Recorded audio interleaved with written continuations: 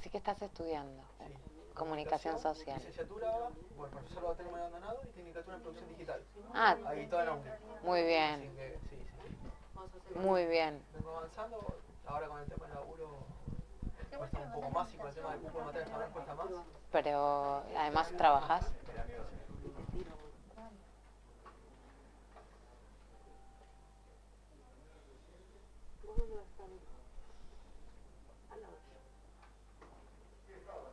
Avísame después cuando te esté bien. Muy,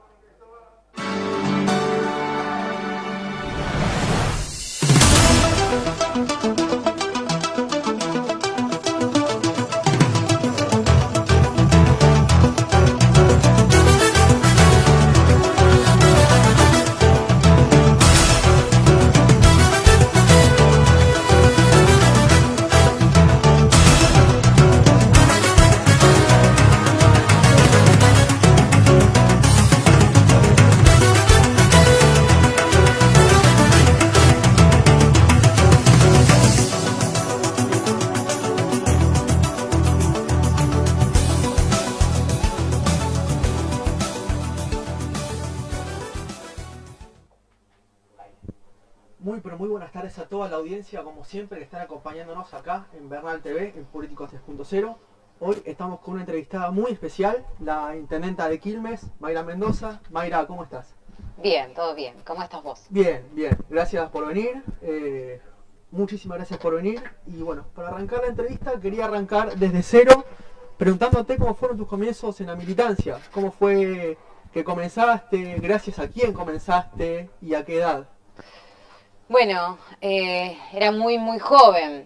Eh, yo creo que desde siempre fui militante, obviamente sin conciencia, eh, pero en la escuela secundaria y el momento de mm, la conformación del centro de estudiantes hizo que me involucre en la organización colectiva a partir de un problema, que era un problema de infraestructura como los que vemos hoy en las escuelas.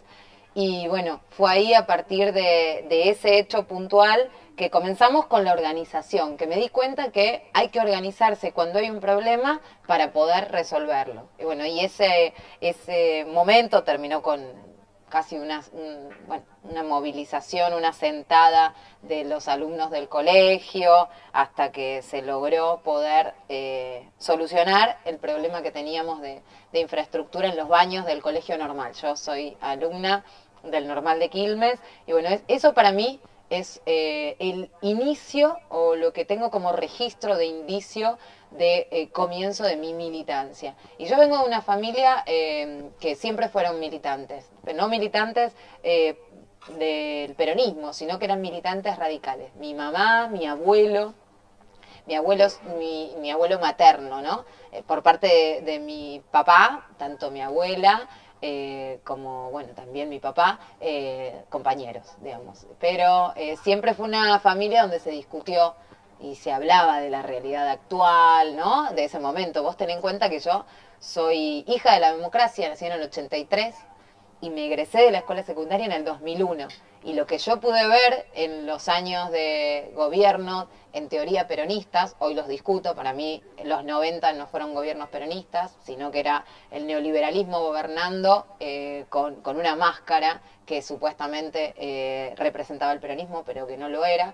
Para mí lo que fueron los 90, eh, lo que es de la Rúa, lo que fue Macri, bueno, me parece que forman parte de- del mismo modelo económico neoliberal, conservador en lo político, y bueno, y ahí eh, comienzo a militar. Y la verdad que no sabía bien por qué y para qué. Y en el 2003, cuando llegó Néstor, eh, me di cuenta y rápidamente me sentí convocada y interpreté lo que él planteaba y esa convocatoria que hacía como el lugar donde yo tenía para estar, para aportar. Siempre valoré mucho la política como herramienta de transformación. Esto sí lo viví en mi casa, más allá de la ideología. Siempre supe que la militancia, la organización colectiva, la comunidad organizada, era la posibilidad de transformar la realidad. Y eso es la política. Y, y bueno, cuando llegó Néstor, bueno, y ni hablar cuando descubrí a Cristina, porque la verdad que no la conocía, me sentí completamente convocada y bueno, mi vida dedicada a la militancia y a este proyecto político. Ahora que nombraste a Néstor, Krishna y a Cristina, todos sabemos que tenés el tatuaje que te hizo Yello. ¿Qué reacción tuvieron, eh, bueno, Cristina y los hijos de Néstor cuando lo vieron? Y bueno, eh, Cristina le gustó, le gustó, obviamente que me imagino que debe haber sido, eh, debe, debe ser un poco de impresión, te debe causar, pero ella ya está acostumbrada porque hay varios militantes que tienen a Néstor y a ella a veces también eh, tatuados en la piel. Yo creo que eh, hay algo que, que, que supera el hecho de haber sido o bueno, su, su, compañera de toda la vida, o su padre en el caso de Máximo. Néstor es un padre político de una generación. Yo me siento hija de la generación política que Néstor y Cristina eh, concibieron, generaron y somos nosotros. Entonces, bueno, me imagino que debe ser emocionante. Eh, así que, bueno, lo, lo, vivimos todos a Néstor como un padre. Esa, esa es la realidad. Ahora, eh, yendo a lo que es la gestión actual, tanto tuya como de Axel Kicillof en la, en la provincia y Alberto Fernández en la Nación, ¿cómo evaluarías todo el contexto de pandemia? Bueno, fue muy difícil. Yo hablo, cuando hablo de la pandemia, hablo de la pesadilla de la pandemia, porque fue algo, a veces no alcanzan las palabras para descifrar lo complejo que fue y, y con qué nos encontramos, que también eh, tiene que ver con la complejidad de poder gestionar, abordar una crisis sanitaria, porque si nosotros hubiésemos tenido un sistema de salud robusto, hubiese sido otra la situación.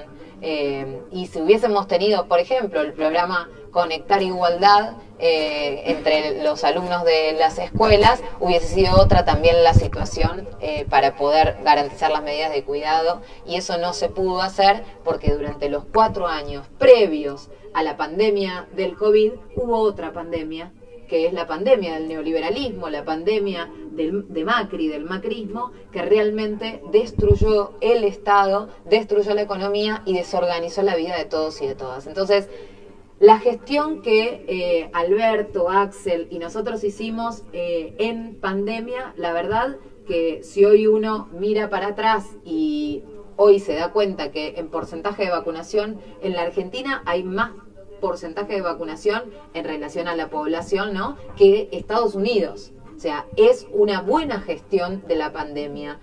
Hemos construido eh, hospitales, fueron hospitales modulares en, todo el conurbano, en el resto del país también. En Quilmes tenemos uno con 52 camas de terapia intensiva para que a nadie le falte una, una cama. Bueno, equipamos con, con, médicos que no había, con trabajadores de la salud en general, enfermeros, camilleros, sopadores, ambulancias, respiradores, oxígeno todo lo que se necesitaba para cuidar la vida y la salud de los argentinos. Hay algo que yo lo grafico como, como realmente una pesadilla que sucedió a los, bueno, 100 días, ciento y pico de días de nuestra gestión, porque fue inmediato, que nos vimos armando camas extrahospitalarias en las aulas de la UNCI, ¿no? Y eso fue realmente muy fuerte, porque yo, por, por supuesto, bueno, tengo muchos funcionarios y un vínculo eh, muy importante con nuestra universidad, porque es un gran valor y, y, es eh, realmente un aporte que una tiene para poder gestionar, para poder gobernar, contar con una universidad en el distrito. Y hoy teníamos y tenemos muchos proyectos, pero nunca me imaginé tener que armar camas en un aula para que se recuperen personas de una enfermedad que no conocíamos. Entonces, de una situación extraordinaria y teniendo un contexto de crisis económica y social enorme como el que venía en la Argentina, yo realmente creo que la gestión de Alberto, de Axel, nuestra también, con el correr del tiempo, va a ser una, y lo van a reconocer, y se va a reconocer, va a ser una de las mejores gestiones de la pandemia que se tuvo en el mundo. Ahora, y con respecto a todo lo que pasó a lo largo de los primeros meses de la pandemia, con los vecinos que no pueden abrir sus comercios, eh, sin ir más lejos acá en Bernal o en Quilmes, que tuvieron que cerrar mucho sus persianas, uh -huh. ¿qué es lo que les dijeron a ustedes eh, y qué es la respuesta que le dieron? Bueno, la verdad que era crítico tener que transmitir que las medidas de cuidado eh, eran inevitablemente necesarias para poder resguardar la vida de todos y que los comercios no podían tener, eh, bueno, ingresar gente o los gastronómicos no podían tener mesas, fue durísimo, crítico para todos. Yo lo que menos quería hacer era transmitir ese tipo de, noticias. Por eso con esas medidas de cuidado y esas restricciones que teníamos, acompañamos con eh, medidas desde el gobierno nacional y también desde el gobierno provincial que ayudaron a sostener en los momentos más complicados de la pandemia algo de los ingresos. Y así fue que se creó el IFE, el ingreso familiar por emergencia, que fueron 9 millones de personas en todo el país, eh, el ATP, el aporte al trabajo y la producción, que, era un aporte no reembolsable, digamos, era un subsidio eh, para comercios, para pymes, para que puedan sostener eh, al menos para sus gastos fijos y obviamente también eh, las fuentes de trabajo que generan y que la pandemia no nos haga aún más daño. Por supuesto que, como pasó en el mundo, no solo en la Argentina, todas las economías, hasta las más consolidadas, lo podemos ver eh, por ejemplo, en Alemania, se han caído, cayó el Producto Bruto Interno, cayó la economía de todos esos países porque la pandemia eh, generó estas situaciones, que tengamos que tener restricciones que no nos permitan, bueno, salir, consumir, vender y producir también. La verdad que la Argentina viene eh, viviendo la, la reactivación de la pospandemia, que todavía no se termina de notar no se termina de notar. Pero la verdad que hay índices eh, que nos muestran cómo la construcción se va reactivando, bueno, muchos sectores de la industria también. Y esto es posible gracias a la gestión que se hizo en la pandemia, gracias a la vacunación. En Quilmes tenemos eh, más de 800.000 vacunados y eso nos da posibilidad de comenzar una nueva etapa, de comenzar a hablar de la pospandemia. Y esto hace que, bueno, los comercios eh, puedan reabrir sus puertas, los gastronómicos puedan tener eh, aforo completo en sus eh, restaurantes, en sus bares, puedan volver a abrirse los boliches y, y, los jóvenes tengan un lugar seguro a donde ir a divertirse. Bueno, estamos otra vez casi comenzando a, vivir con normalidad eh, después de la pesadilla del COVID. Ahora, ¿y las medidas de seguridad, tanto para los, las escuelas como los boliches, eh, quién las decide? El gobierno nacional y el gobierno provincial hace un, decreto eh, y nosotros obviamente nos, tomamos de, de esas medidas que se establecen desde provincia. ¿Y para las universidades públicas? Y bueno, ellos, la, cada universidad, eso se regula desde el Ministerio de Educación de la Nación y cada universidad eh, tiene eh, su, su, administración, su forma de, decisión que hacen que, bueno, decidan cómo es el protocolo o el formato de presencialidad, semipresencialidad, Ahora, con respecto a lo que es la seguridad, eh, se ve que los vecinos últimamente salieron a manifestarse a la calle por lo que pasó con Lucas. ¿Cómo ves la situación de seguridad del municipio? Bueno, la verdad que es un tema muy complejo que obviamente no hay que plantearlo solamente desde, desde un eje, ¿no? O desde una causa, sino que, esto es desde diferentes dimensiones, multidimensional, multicausal.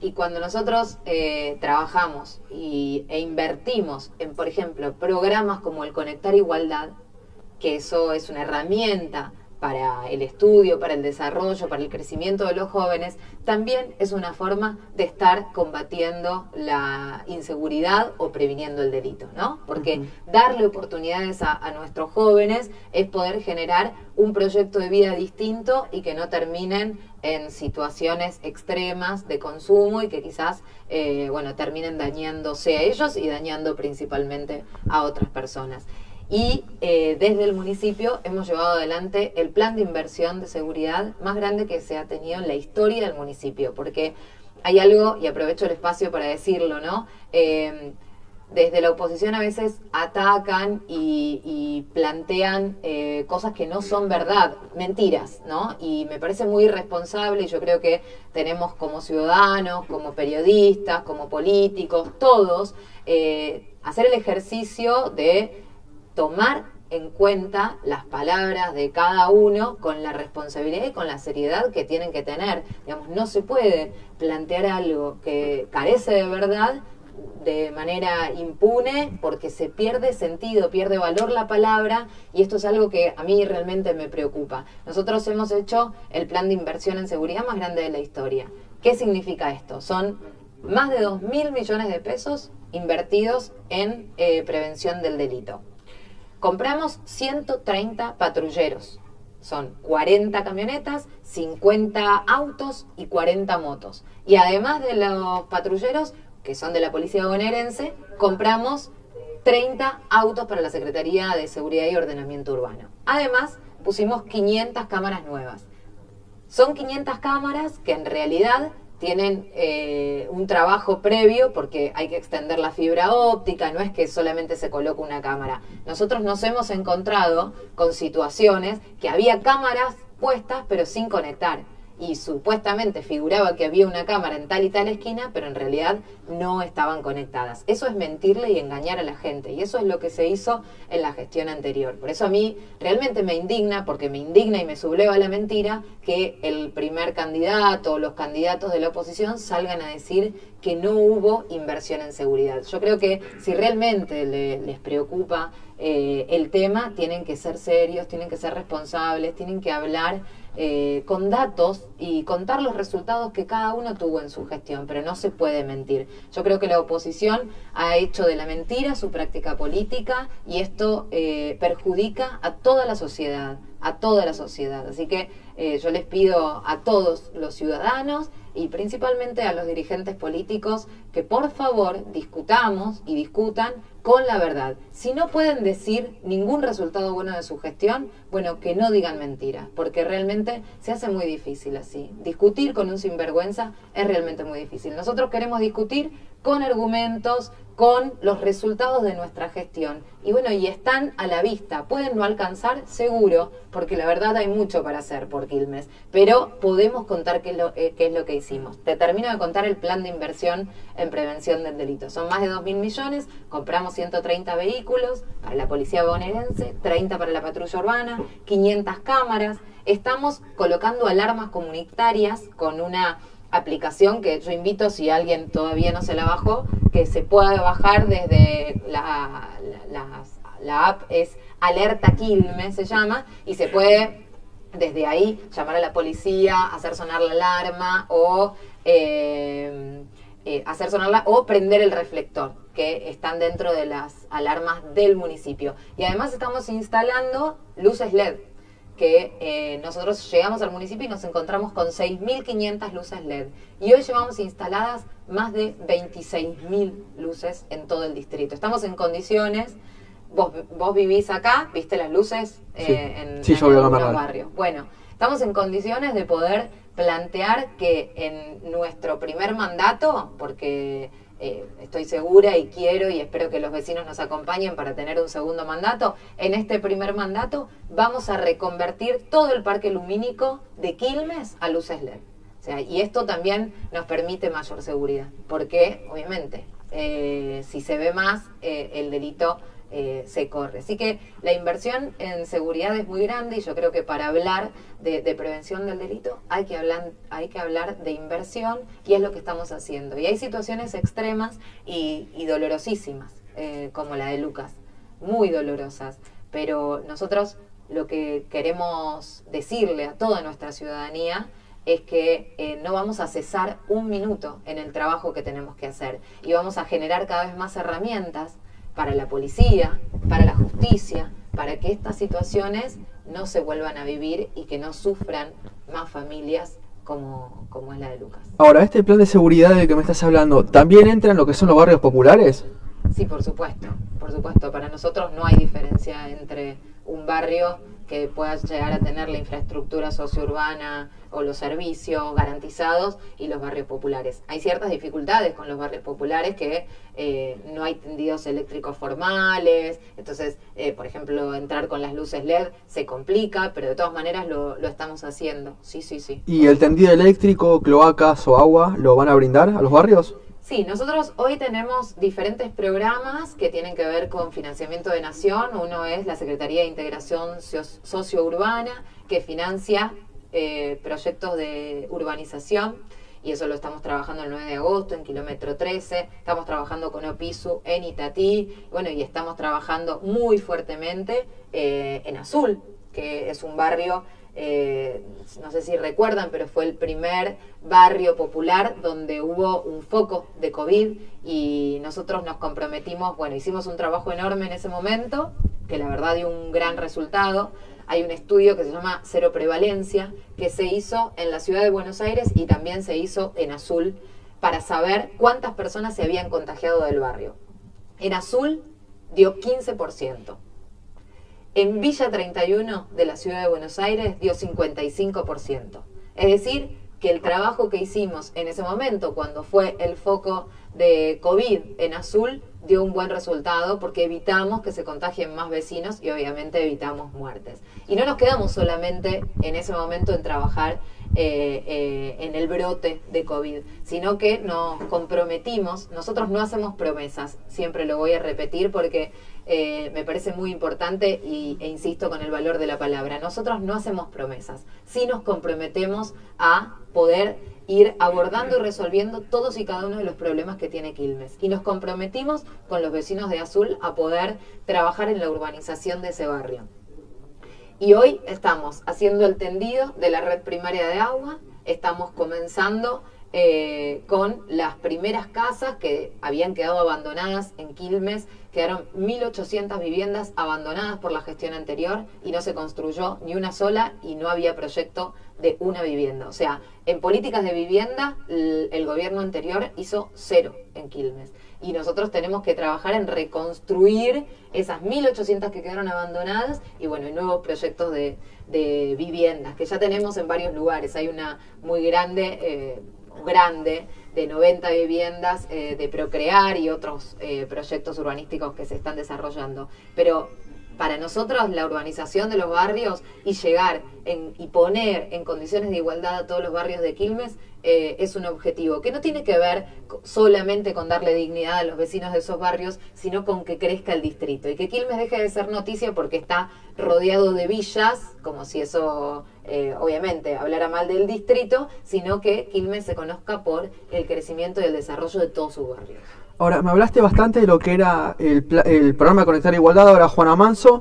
¿Cómo hacen para garantizar tanto a las escuelas como a las casas de los chicos una conectividad para que puedan estar conectados? Bueno, en las escuelas hay, dentro del programa Conectar Igualdad, existen los pisos tecnológicos. Eso está dentro del programa de Conectar Igualdad. Tiene que haber un piso tecnológico, Wi-Fi en la escuela, digamos.